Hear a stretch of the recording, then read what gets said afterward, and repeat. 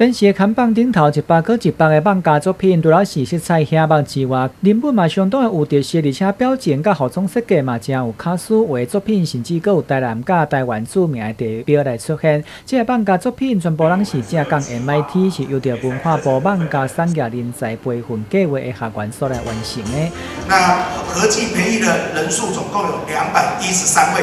那这些学员经历啊半年的努力啊，因为呃总共这个培育的班有在台北，有在台中，有在台南，哈，那无数的这个熬夜的夜晚，我们今天总共产出了一百一十一部的这个优秀作品。在呃台南文化园区里面设立了这个呃漫画小站实体漫画藏在展示商店，那提供了原创漫画创作作品的寄卖跟展示。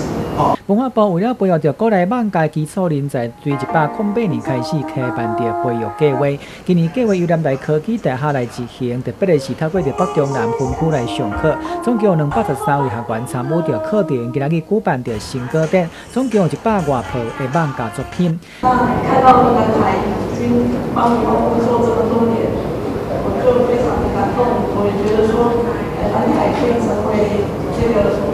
漫画的一个重要的人才的的推动基地，那对台湾在对这个动漫的领域，一定有非常非常大的这个助力跟帮助。每一遍开办着网家产业人才培育计划，让吸引真侪民众来报名。课程除了受网家编剧甲文本的创作、角色的创作甲分镜的基础之外，佮知影讲变怎做营销。而这个计划新高店北中南三地同步来举行，台南场是伫八号开始到十号，伫台南文化创意产业园区来展出。有兴趣便会当去看卖。南天新闻台一城台南采访报道。